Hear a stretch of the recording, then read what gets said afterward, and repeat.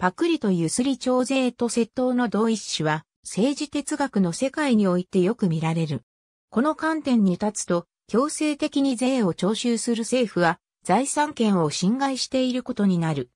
アウタルキズム、アナルコキャピタリズム、オブジェクティビズムの信奉者、最小国家主義者の多くが、徴税は、非侵害原理に逆らうものと考えている。19世紀、ライサンダー・スプーナーは徴税は、多くの場合脅迫により強制的に行われるため、強盗であると述べた。マレー・ロスバードは、自由の倫理学において、徴税が窃盗であると断じ、それゆえ、タックスレジスタンスは合法であると述べた。自分の家にやってきて貴重品はどこかと聞いてくる。泥棒に対して道義的に本当のことを答えなければならないはずがない。つまり、国家が同じことをしてきても、道義的に本当のことなど答える必要はないのである。例えば、所得税申告書を記入するときだってそうだ。普通徴税を肯定する人間はそういった権利の侵害は起きていないと主張する。窃盗はそもそも統治機構という文脈の中で捉えられなければならないというのである。あるいは徴税は社会契約の中に含まれるというものもいる。徴税は公共財の資金として必要だという考え方も一般的である。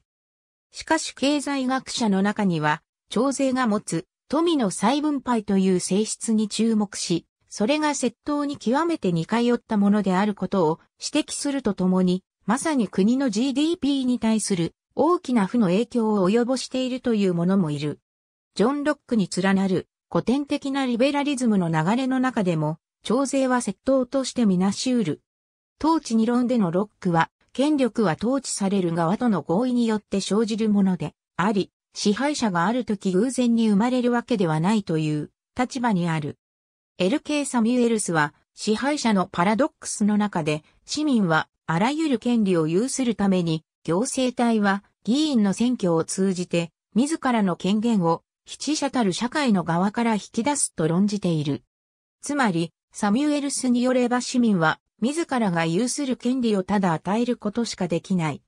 支配者のパラドックスが厳然し始めるのは、行政体がそもそも市民が持っていない権利や持つことができない権利を行使する時なのだ。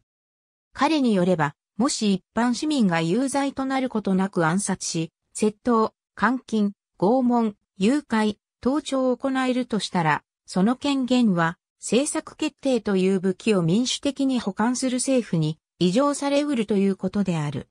ロック的な自然権の原理から言えば、徴税は窃盗とみなされるがゆえに、政府は自分たちの窃盗する権利を市民から獲得しなければならないのである。ありがとうございます。